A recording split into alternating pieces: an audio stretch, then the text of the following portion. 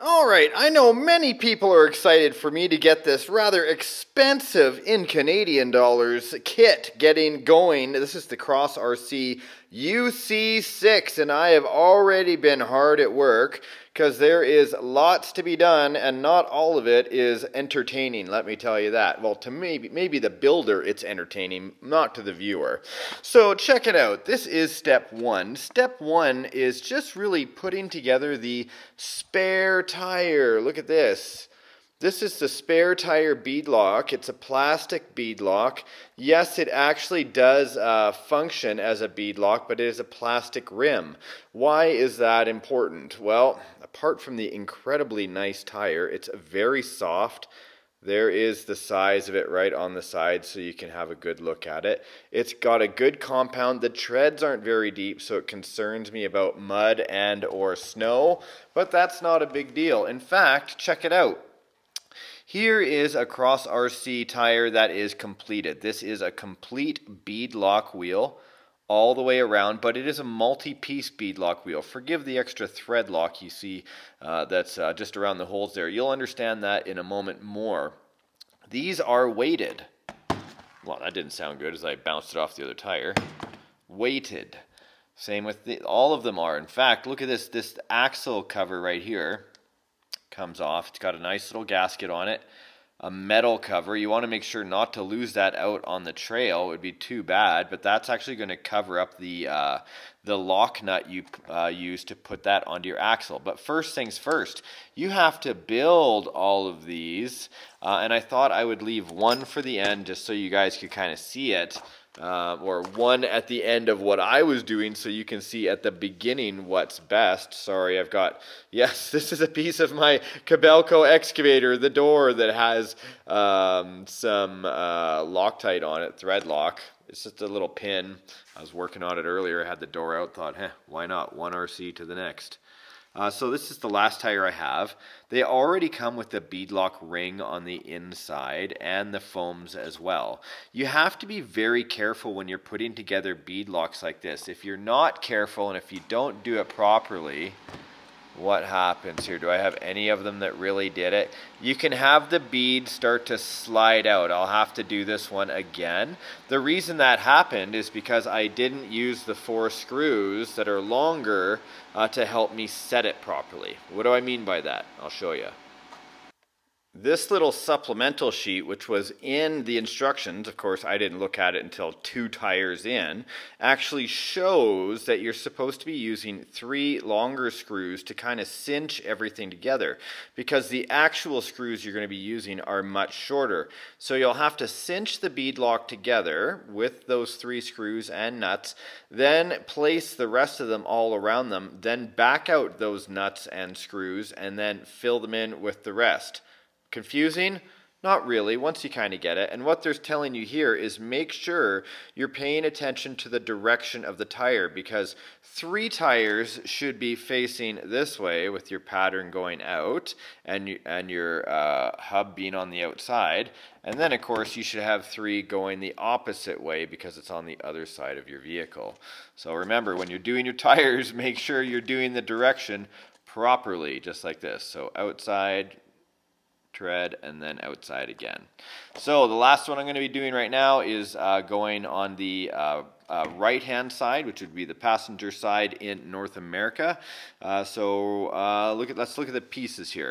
The ring is already on the inside. Here is the inside-inside hub, so I know that's going to be going like that, right?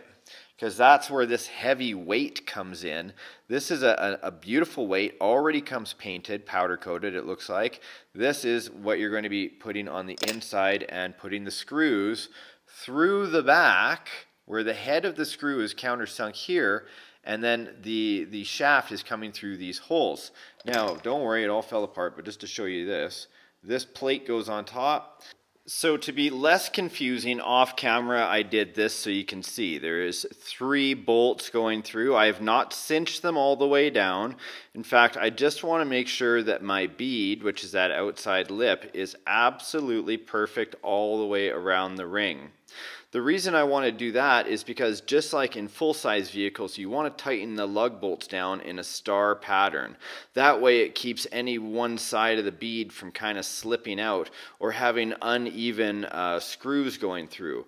But like I made, like I said, make sure to have enough uh, thread lock on your screws, or when you're out on the trail, you're going to have your bead locks pop apart, and it'll kind of ruin your day when you're out there. It, will be hard to fix. So uh, what I'm going to do right now is cinch these down just a little bit more, and then drop all the screws with bead lock uh, or with thread lock uh, uh, already on it, and then I'll just be able to uh, put all this, the nuts on. Once all your uh, nuts are in place, then start to remove the longer screws and then you're done.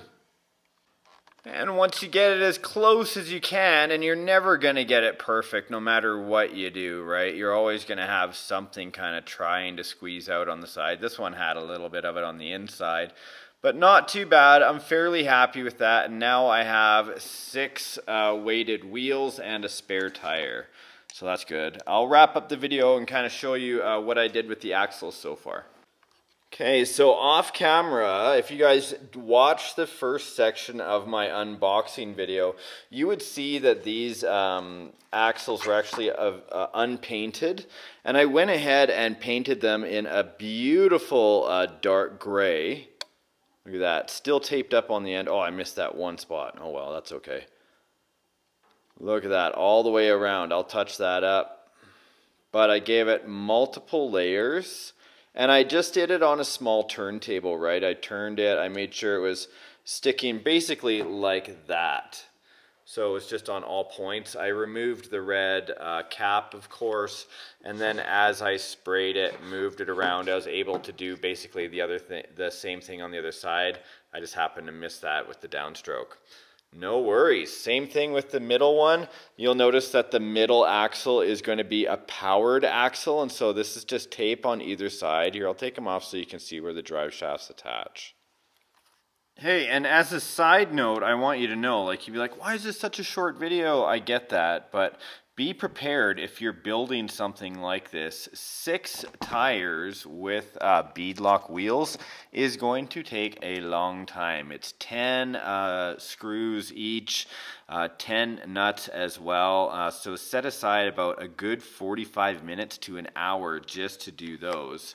Another thing to note about these, I already, prior to painting them, I already opened up every single screw uh, and opened up these back uh, covers as well as looking at the bearings on the inside. I packed it full of moo uh, or udder butter. I was going to say moo slick from Cow RC, but it's actually udder butter, which is basically a marine grease, a waterproof grease that goes in and around the axles and the bearings because for me at the time of this filming, winter is coming up. And even if it was wasn't winter, it would be springtime, and I love to play in the water. I'm basically like a golden retriever around water, and RC, they are going in. So, yeah, I just wanted to mention all the grease so you don't have any issues with your bearings seizing up either.